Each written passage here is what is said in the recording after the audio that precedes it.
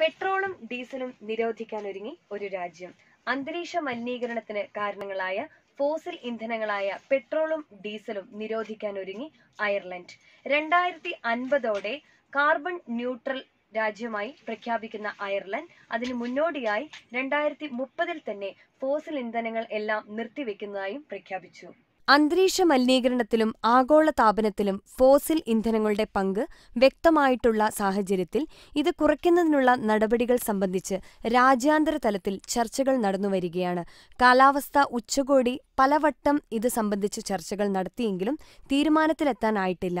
ഈ പശ്ചാത്തലത്തിലാണ് ഒരു യൂറോപ്യൻ രാഷ്ട്രം നിർണായക തീരുമാനം കൈക്കൊള്ളാനൊരുങ്ങുന്നത്.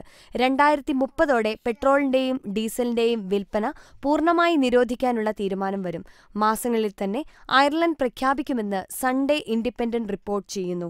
രണ്ടായിരത്തി അൻപതോടെ കാർബൺ ന്യൂട്രലായി പ്രഖ്യാപിക്കുന്നതിന്റെ ഭാഗമായി കാലാവസ്ഥാ മാറ്റത്തിനും പരിസ്ഥിതിക്കും വേണ്ടിയുള്ള മന്ത്രി റിച്ചാർഡ് ബ്രൂട്ടോ ആണ് പ്രഖ്യാപനം നടത്തുക. രാജ്യത്തെ എല്ലാ വാഹനങ്ങളും ഇലക്ട്രിക്കിലേക്ക് മാറാനാണ് അയർലൻഡ് ലക്ഷ്യമാക്കുന്നത്. ഇതിനായുള്ള ചാർജിംഗ് പോയിന്റുകൾ ഉൾപ്പെടെയുള്ള സംവിധാനങ്ങൾ വരും വർഷങ്ങളിൽ സജ്ജമാകും. രണ്ടായിരത്തി നാൽപ്പതോടെ ഫോസിൽ ഇന്ധനങ്ങൾ ഒഴിവാക്കാനാണ് ഫ്രാൻസ് ലക്ഷ്യമിടുന്നത്. ജർമ്മനിയും ഇതേ ലക്ഷ്യത്തോടെ ഇലക്ട്രിക് വാഹനങ്ങളെ പ്രോത്സാഹിപ്പിച്ചു വരികയാണ്. ഡെൻമാർക്ക് നോർവേ എന്നീ രാജ്യങ്ങളും ഫോസിൽ ഇന്ധനങ്ങളെ ഒഴിവാക്കാൻ ഒരുങ്ങുന്നു എന്നാണ് റിപ്പോർട്ടുകൾ.